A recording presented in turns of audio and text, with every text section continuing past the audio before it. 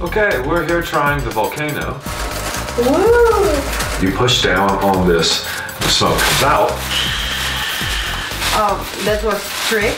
This is a little weird to get used to. Yeah. Okay. So from a taste perspective, this is definitely um, the one.